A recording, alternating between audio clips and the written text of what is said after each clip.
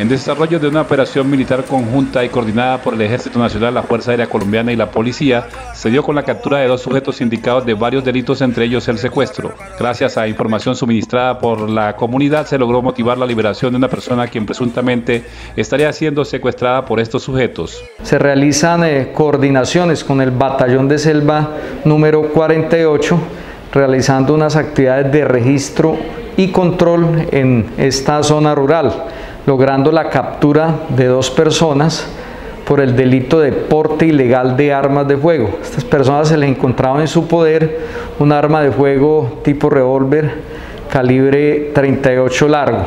Los capturados estarían sindicados como los causantes de acciones delictivas en los municipios de Simití y Morales. En su accionar se destaca el robo de ganado, motocicletas, automotores, embarcaciones y asalto a comerciantes de la región.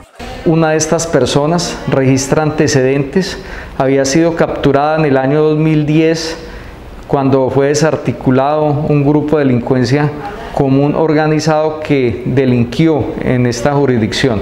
Asimismo, estos sujetos serían autores materiales del asesinato de una persona ocurrida en los primeros días del mes de septiembre en esa municipalidad de Simití. Al momento de realizar las capturas se les incauta un revólver y los capturados y el material fueron dejados a disposición de la autoridad competente.